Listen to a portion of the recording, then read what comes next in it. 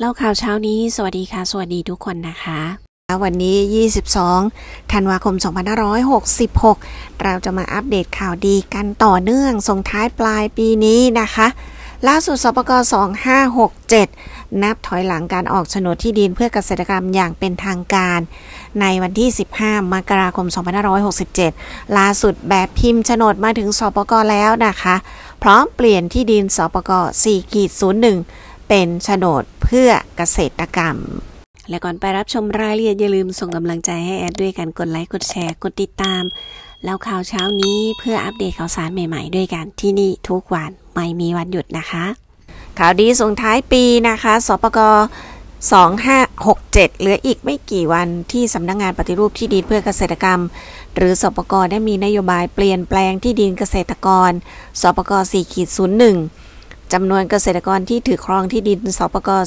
4.01 ที่มีอยู่จำนวน 1.6 ล้านราย มีสิทธิ์ที่จะเปลี่ยนสปก4.01 มีการแก้ไขปรับปรุงชื่อเอกสารจากเดิมโฉนดเพื่อเกษตรกรรมเป็น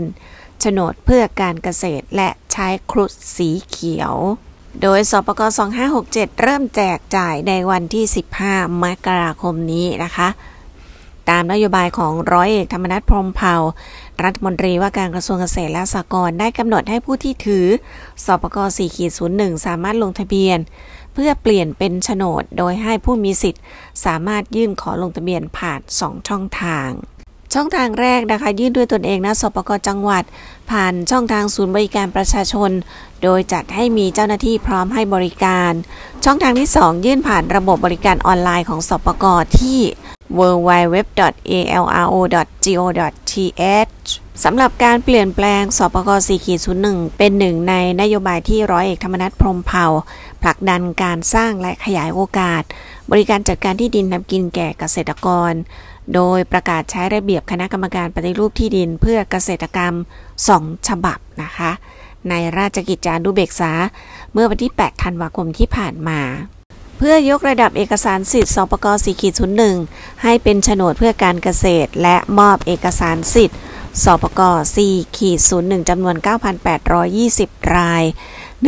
11,060 แปลง เนื้อที่จำนวน 17,284 ไร่ซึ่งล่าสุดวันนี้ 22 ธันวาคม นายเกียรติยศ ทรงสง่า ผู้เชี่ยวชาญด้านการจัดที่ดินนะคะ พร้อมด้วยเจ้าหน้าที่สำนักจัดการปฏิรูปที่ดินหรือสจกตรวจรับแบบพิมพ์โฉนดเพื่อการเกษตร เพื่อเตรียมส่งมอบ ให้สปกจังหวัดสำหรับการออกโฉนดเพื่อการเกษตร เพื่อเป็นของขวัญปีใหม่ ให้กับพี่น้องเกษตรกร